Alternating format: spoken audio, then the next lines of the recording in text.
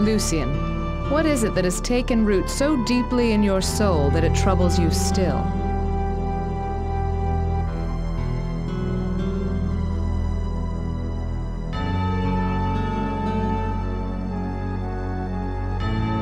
If you do not wish to answer, I will leave you be. However, I must remind you that you cannot accept your death until you have left your worldly troubles behind.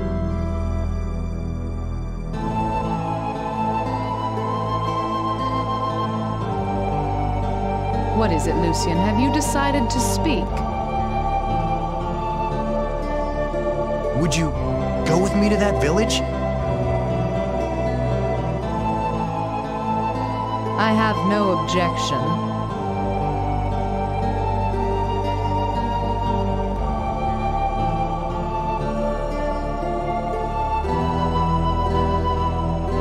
I was born in this village.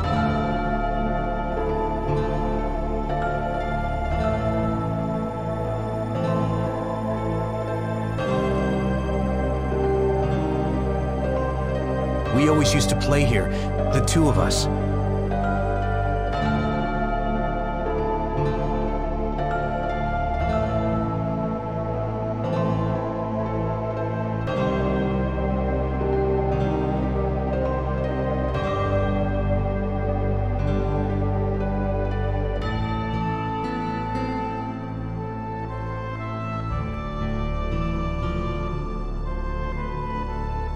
And this house?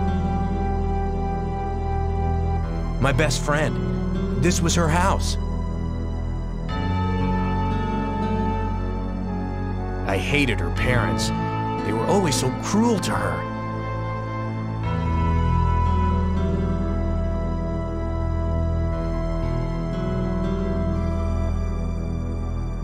But Platina got upset when I spoke ill of them, so I tried to keep my mouth shut.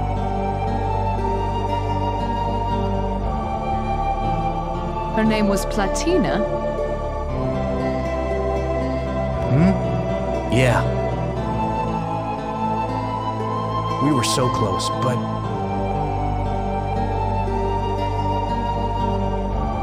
But? one day I found out that her parents were going to sell her. We escaped together. I was just a dumb kid back then. I couldn't think of any other way.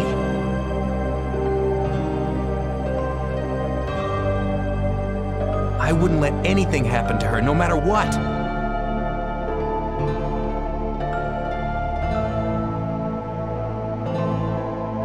In the dark of night, we ran until our lungs were about to burst.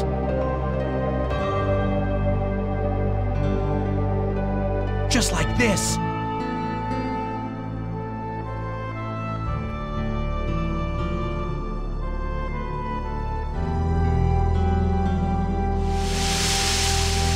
Then, we stumbled onto this place.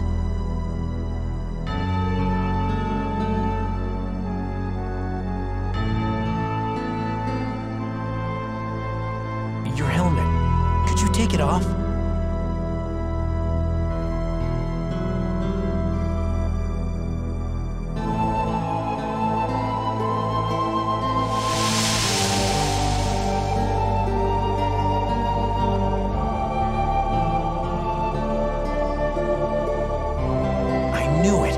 Look exactly like her.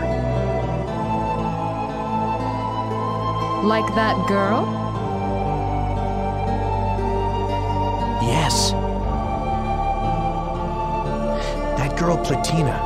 She inhaled the weeping lily pollen and died.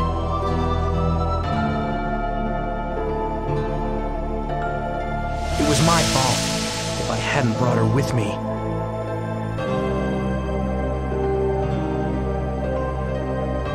And I resemble this girl. And that's why... I know it's wrong to feel this way about a stranger just because she looks like someone else.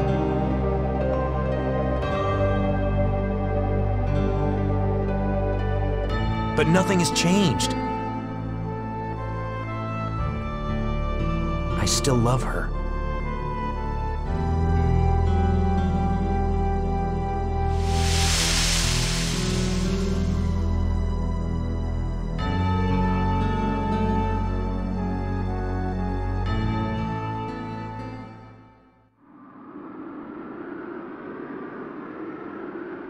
You see a semblance of your first love when you look at me.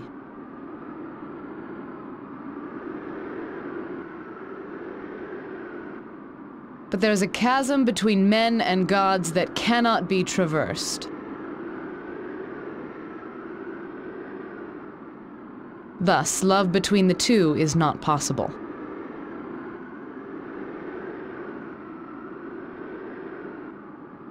However,